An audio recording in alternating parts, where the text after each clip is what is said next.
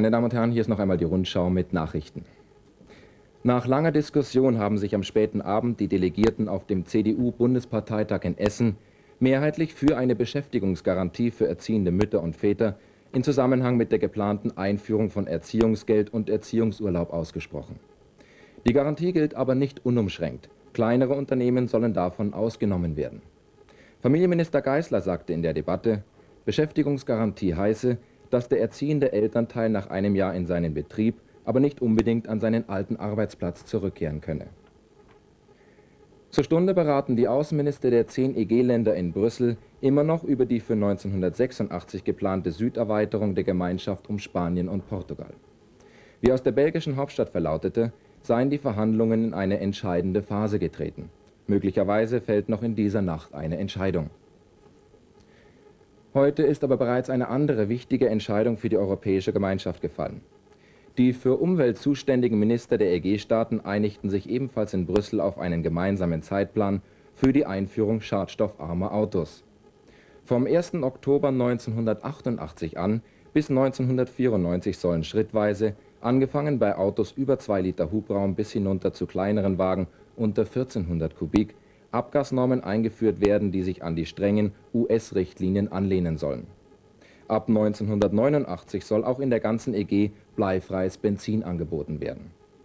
Gemessen an ihren früheren Plänen hat die Bundesregierung jedoch in einigen wichtigen Punkten Zugeständnisse machen müssen, wie zum Beispiel bei der Höhe der geplanten Kraftfahrzeugsteuerbefreiung beim Kauf abgasarmer Autos. Die Brüsseler Vereinbarung ist von SPD, Grünen und Naturschützern scharf kritisiert worden von den deutschen Autoherstellern jedoch positiv aufgenommen worden. Nicht die erforderliche Zweidrittelmehrheit im Parlament von Wien hat ein Antrag der regierenden Sozialisten in Österreich unter Bundeskanzler Sinowatz gefunden, das Kernkraftwerk Zwentendorf nun doch in Betrieb zu nehmen. Das KKW war 1978 nach seiner Fertigstellung per Referendum stillgelegt worden. Bei einem Feuergefecht zwischen israelischen Soldaten und schiitischen Freischärlern im Südlibanon sind zwei Mitarbeiter der amerikanischen Fernsehgesellschaft CBS, der Kameramann Gazavi und der Tontechniker Medni ums Leben gekommen.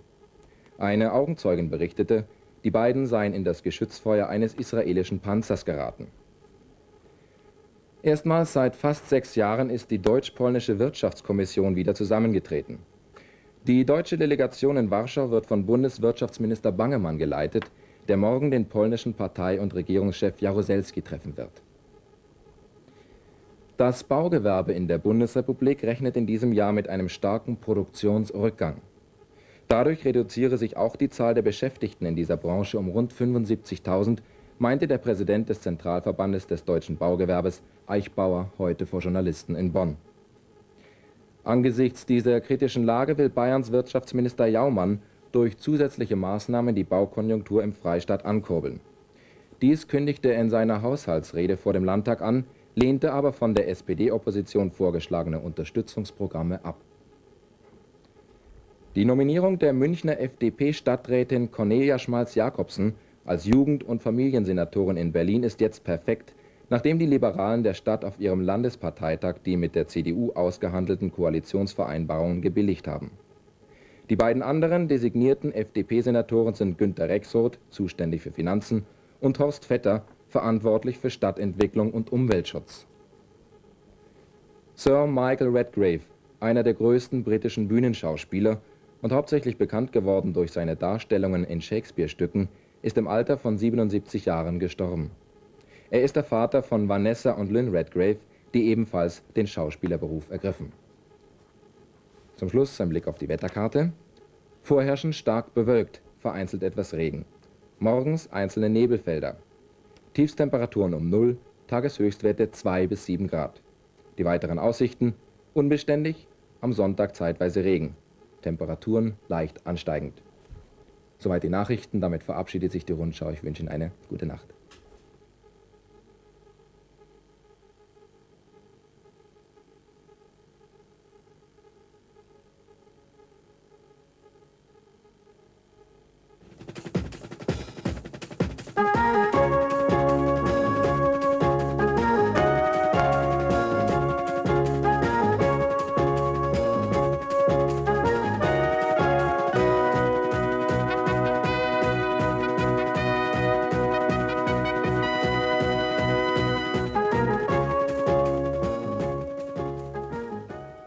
Bonjour à tous, voici nos informations. Les dix membres de la communauté européenne ont donné leur feu vert à l'adhésion de l'Espagne et du Portugal. Par ailleurs, à l'issue d'une séance marathon, les ministres de l'Environnement de la communauté, réunis à Bruxelles, sont convenus d'introduire des voitures propres à catalyseur dans leur pays. Seul le Danemark a émis quelques réserves sur ce projet les normes d'émission doivent être fixées à une date ultérieure.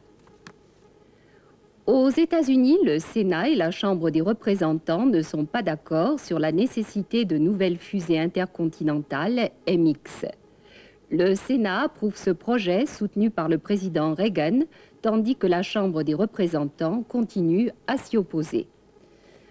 En Belgique, où le gouvernement avait décidé, après une longue controverse, d'accueillir sur son sol les 48 missiles de croisière prévus par la double décision de 1979, une manifestation hostile à une telle implantation a réuni des mouvements pacifistes, écologistes et socialistes.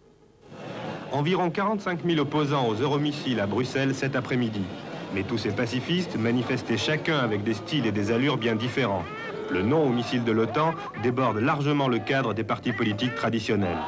Vendredi soir, le Premier ministre belge, M. Wilfried Martens, donnait soudainement le feu vert aux Américains pour le déploiement de 48 missiles de croisière d'ici la fin 87. Mais on apprenait presque dans le même temps que déjà 16 missiles cruise venaient d'être implantés à Florène, une base proche de Bruxelles. Le Premier ministre a donc placé les pacifistes devant le fait accompli. La querelle politique s'aggrave, surtout que les adversaires les plus déterminés des euromissiles sont, tout partis confondus, les Flamands, sans doute influencés par leurs voisins néerlandais, les Wallons francophones étant en majorité favorables à l'implantation des missiles. Une nouvelle occasion de prolonger l'interminable querelle entre les deux communautés linguistiques. Prochain test, une marche pour la paix en octobre prochain. En Nouvelle-Calédonie, la tâche de l'envoyé du gouvernement français, Edgar Pisani, reste difficile le chef du gouvernement territorial, Dikukewe, continue à le bouder. Guéguerre des communiqués, des conférences de presse, des rendez-vous loupés. Dikukewe convoque les journalistes une fois de plus pour rendre publique une lettre d'Edgar Pisani deux jours après avoir refusé l'invitation à dîner du haut-commissaire. Dikukewe fait feu de tout bois. La moindre petite phrase du haut-commissaire suscite publiquement sa réaction ou celle de son gouvernement. Tous les moyens sont bons pour déstabiliser Edgar Pisani. Les mauvais rapports Ukewe-Pisani sont maintenant sur la place publique. Les termes de la lettre de M. Pisani sont méprisants, sont injurieux, même pour mon gouvernement. Mais nous ne lui en voulons pas. Il est aujourd'hui un homme déçu, marqué par son échec. Il ne serait pas convenable de l'accabler. Car à la même heure, le haut-commissaire, entouré de ses conseillers au bord de sa piscine, prend connaissance des déclarations du président du gouvernement territorial. Il est surpris, attentif, mais serein. Je, ne comprends vraiment pas. Quoi qu'il la rende public Oui. On fait de bonne guerre euh, politique.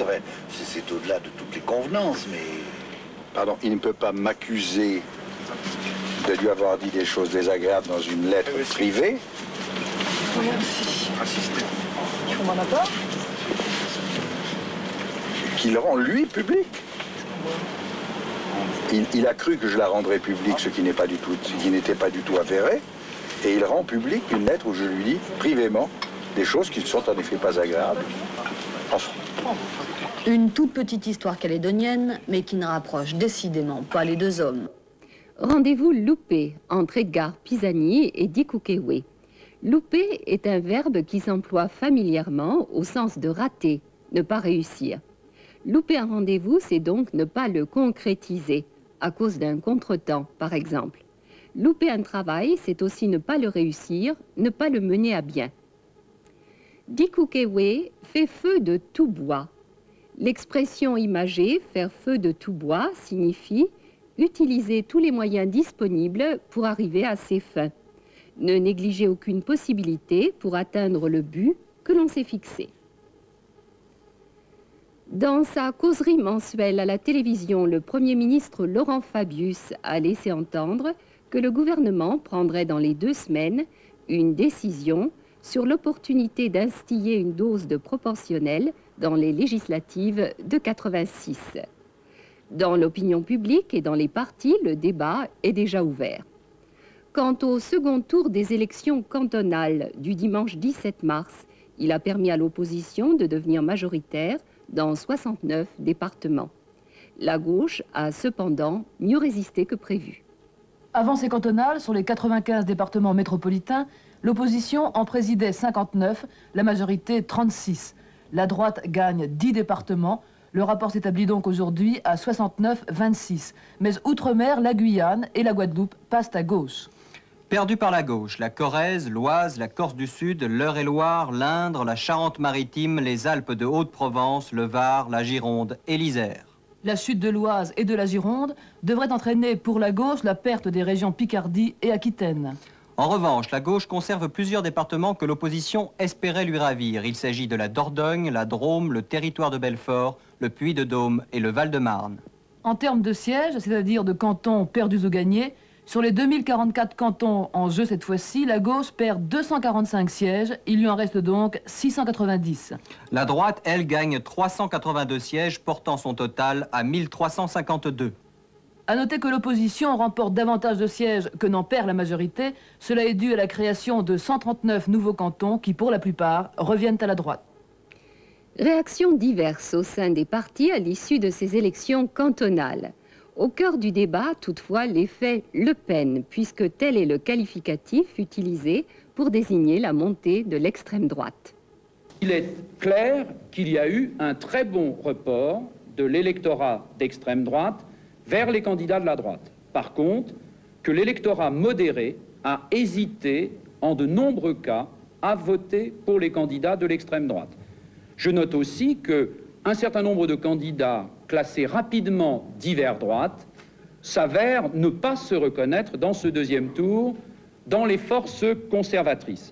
En somme, ce que j'avais dit également au premier tour, à savoir que la droite classique en France ne peut être majoritaire sans l'extrême droite, me paraît confirmé à l'issue de ce second tour. Nous avons mené le combat euh, depuis le début euh, sur euh, Le Pen et sur le Front National, qui est un, parti dangereux, raciste, je dis de tendance fascisante. Le vote dans cette direction est négatif. D'ailleurs, regardez comment Le Pen a abusé ses électeurs au, premier tour, euh, il a craché sur euh, euh, le RPR, sur l'UDF, sur Giscard, sur Chirac, sur Barr. Seulement Le Pen, au deuxième tour, eh bien, il fait alliance avec ceux-là qui portent les lourdes responsabilités que l'on sait. Par conséquent, je suis sûr que Le Pen, il a mangé son pain blanc. Pourquoi la gauche n'est-elle pas en déroute et pourquoi subit-elle seulement un échec sévère? Eh bien, c'est parce que les chefs de l'opposition parlementaire ont divisé l'opposition. Et imaginez ce que seraient les résultats ce soir si le Front National n'avait pas passé par-dessus sa légitime indignation et donné la consigne de voter malgré cela, malgré une injuste exclusion dont j'attends ici solennellement